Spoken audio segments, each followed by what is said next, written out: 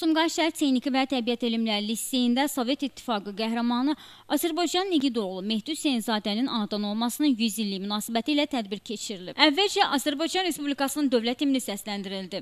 Dövlət bayrağı səhnəyə gətirildi.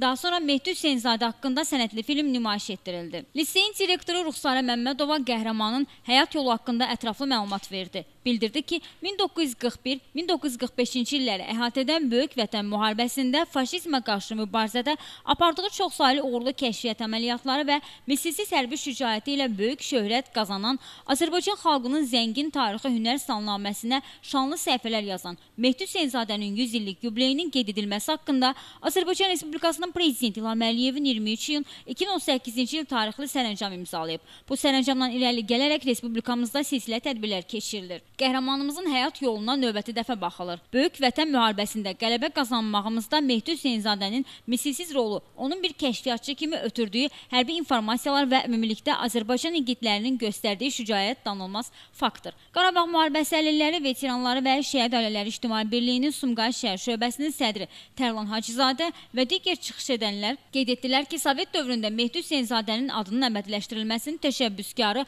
Azərbaycan xalqının ümummilli lideri Heydər Əliyev olub. Bu gün də Prezident İlham Əliyev bu ənənəni davam etdirir. Yubiley tədbirində şagirdlər ədəbi bədii kompozisiyalar nümayiş etdirib, şeirlər söyləyib, mahnılar oxuyublar. Rəssamlığın da vardı, şairliyin də vardı, qələmin də, fırçan da ətirli ilk bahardı. Bu qızıl xətlərlə yazıram sizi, hərəniz tarixdə bir yarpaqsınız, bu dünya durduqca duracaqsınız. Deməli, rəssamsan, eləmi? Bəli, rəssamım. Adın, August. amma Mikhail olduğunu dəqiq bilmirəm.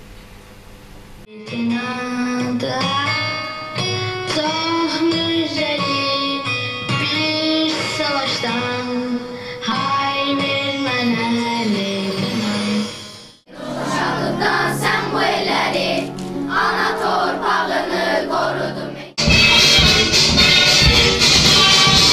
Gülü Abbasova, Valif Kərimov, Dünya TV.